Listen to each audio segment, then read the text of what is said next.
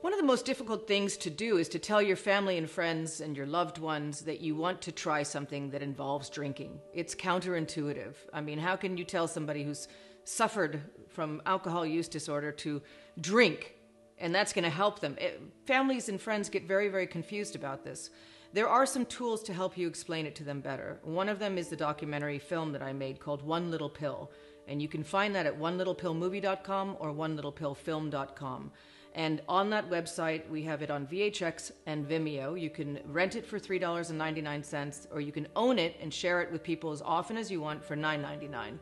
Either way, this is a really good, less than an hour, um, succinct way to explain to people the science behind the Sinclair method and also show real life people who are on it and who've been on it. So, this is an excellent tool. Another wonderful tool is the book, The Cure for Alcoholism by Dr. Roy Eskapa. Um, that book has a, a, plethora of information. It is also all inclusive. It has everything you need.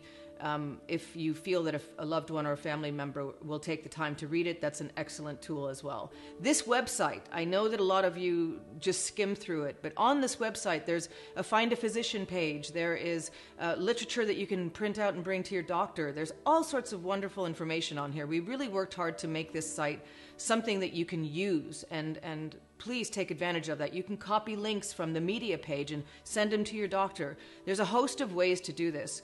But the most important thing is to get your loved ones involved and say, look, I've tried other things and they didn't work for me.